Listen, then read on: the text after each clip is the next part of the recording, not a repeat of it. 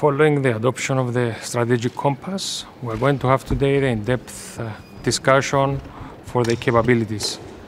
Uh, Cyprus welcomes the steps taken uh, since the presentation of the gap analysis, and we fully support uh, the joint defense procurement project. Um, going beyond that, we're looking ways as to tackle bureaucracy and, uh, in addition, move forward as fast as possible uh, by providing also incentives uh, such as the abolition of the VAT on uh, procurement, on buying military equipment.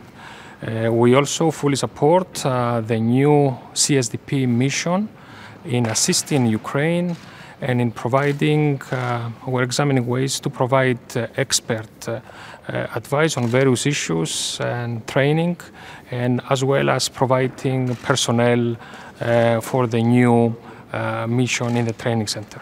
Thank you. What, what is the EU training's mission for? Why?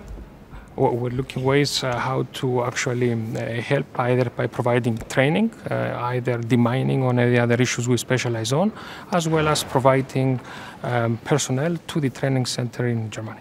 Minister, Thank you. how do you estimate liberation of Kherson? What does it mean?